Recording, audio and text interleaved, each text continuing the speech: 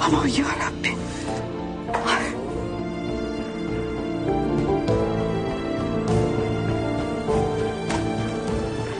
Hayır. Aylin değil mi bu? Ta kendisi. Orada Aylin'e gönderdiği paraların dekontları da var.